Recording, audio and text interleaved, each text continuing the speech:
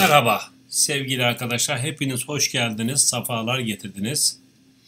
Öncelikle bugün Elina Hamitli Azerbaycanlı bir öğrencimin İngilizce yazdığım cümleleri Türkçe'ye çeviriniz ödevini beraberce yapıyoruz arkadaşlar.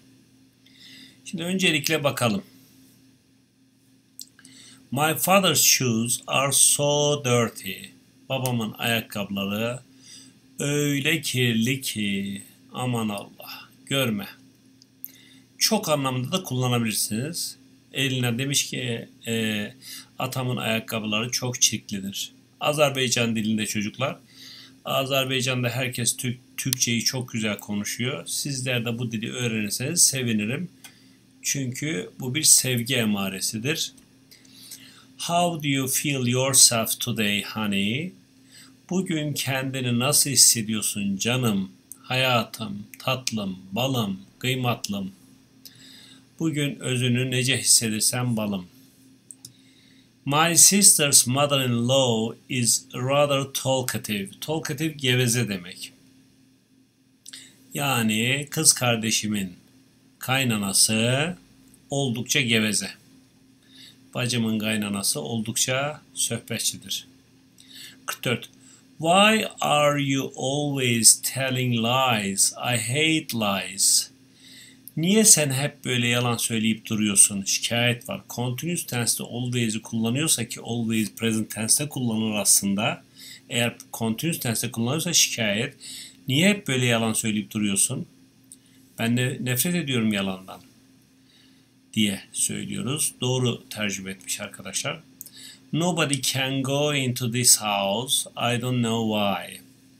Hiç kimse bu eve giremez. Giremiyor. Çünkü çünküsü yok. Neden olduğunu bilmiyorum ama hiç kimse bu eve giremiyor anlamda. Giremez yani. Giremez. Ama biz onu giremiyor diye çevirebiliriz.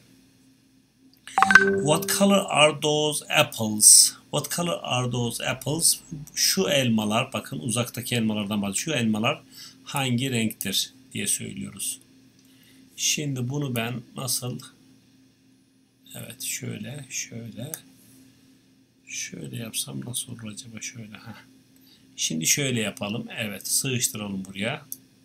Evet. My father has got three sisters.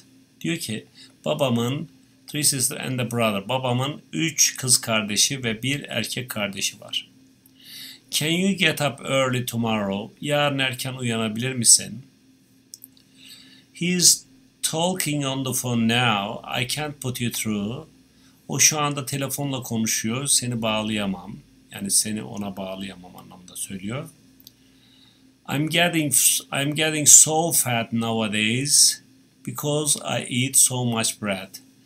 Bugünlerde öyle çok şişmanlıyorum ki sorma gitsin. Çünkü çok fazla ekmek yiyorum.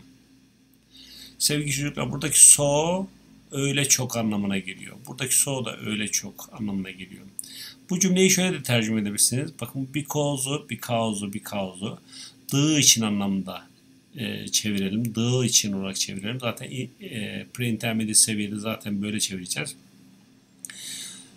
Haddinden fazla yani daha çok o kadar çok ekmek yedi yani çok ekmek yediğim için çok ekmek yediğim için bu bugünlerde çok şişmanlıyorum diyebiliriz. Sevgiyle kalınız arkadaşlar. Görüşmek ümidiyle.